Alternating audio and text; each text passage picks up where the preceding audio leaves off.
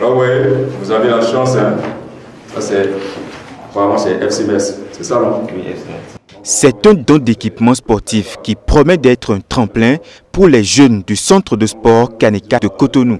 Avec ses chaussures de foot, des crampons, des maillots, des ballons et des paires de gants, Simplice Awandinou, l'éducateur au centre de formation de FC Metz en France, galvanise davantage ces jeunes futurs porte-étendards du Bénin et à l'amélioration de la qualité des prestations de ces jeunes.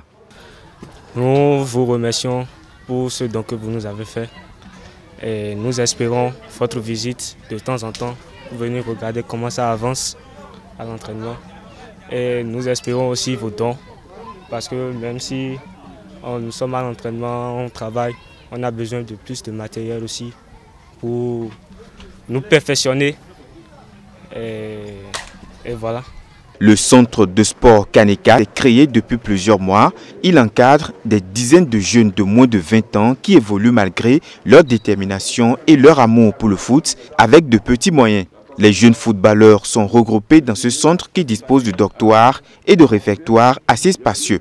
Ce geste de Simplice Arwandinou vient donc appuyer ce centre en renforçant les activités sportives pour donner plus de vigueur aux enfants. Je tiens à dire merci à, M. Simplice, et collègue formateur Arwandinou, et de ce don et d'avoir pensé à ses enfants et pour ce noble geste grandiose qu'il a eu à l'égard de, notre centre Tandeka.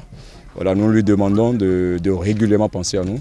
Et euh, pourquoi pas ne pas faire un jour une descente avec ses amis, euh, collègues euh, français pour venir voir ce qui se passe au centre Tandeka.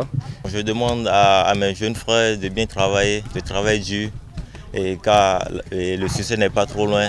À force de travailler, de se battre au quotidien, je pense qu'ils auront ce qu'ils veulent. Parce que chacun d'entre eux veut et il a un objectif à, atteindre. Donc à force de travailler chaque jour, j'espère qu'il atteindra son objectif. Sur le terrain, facile de remarquer le talent de ces jeunes. Ils font du foot l'activité principale à la base de leur épanouissement. Notons que Simplice Arwandinou n'est pas à son premier geste dans le domaine social. Il intervient régulièrement auprès des couches déshéritées du Bénin.